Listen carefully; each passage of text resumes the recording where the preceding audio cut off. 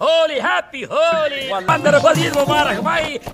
ये बड़ी अच्छी बात कही और भी इस होली को बेहतर बनाने के लिए मैं आपको कुछ ट्रिक्स बताने जा रहा हूँ। सबसे पहले आपको एक फेविकॉल का बॉटल लेना है। इसके अंदर हमें पानी को भर लेना है कुछ इस प्रकार।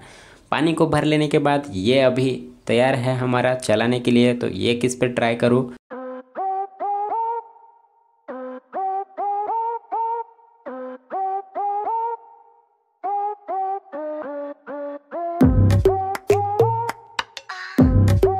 तो अगली ट्रिक को ट्राई करने के लिए यहाँ पर मैं प्लास्टिक की छोटी सी प्लेट लिया हूँ। उसके बाद यहाँ पर मैं एक कलर ले रहा हूँ, जो कि दीवार पे हम लगाते हैं पेंट करने के लिए। लेकिन आपको ये कलर नहीं लेना है, क्योंकि ये बहुत ज़्यादा जो है हैवी होता है छूटने का नाम नहीं लेता।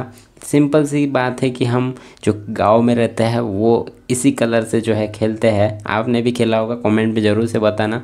तो इस कलर को अच्छे तरीके से पानी से मिक्स कर लेना है, बना लेना है, इसका एक पेस्ट बढ़िया सा मिक्स कर लो अच्छे तरीके से। फिर उसके बाद यहाँ पर मिक्स होने के बाद फिर से हमें जो है, सीरेंज में हमें भर लेना है इसको।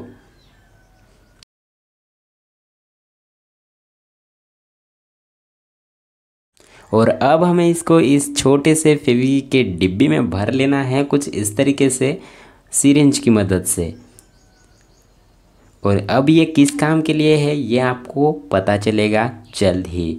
तो सबसे पहले तो आपको पलट लेना है। जब भी आप कहीं पे किसी को लगाने जा रहे हो तो चुपके से आपको लगाना है इसको। तो आपको पीछे से हाथ में कुछ ऐसे डाल लेना है और ऐसे कुछ हाथ को घुमा लेना है और लगा देना है।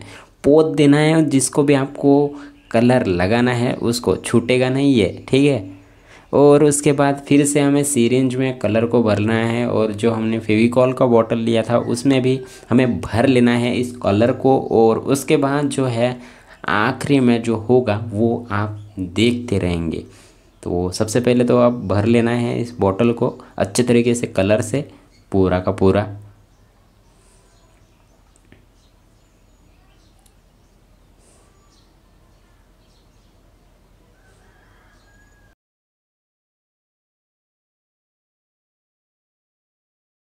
और भर के हो जाने के बाद यहाँ पर मैं लिख रहा हूँ होली।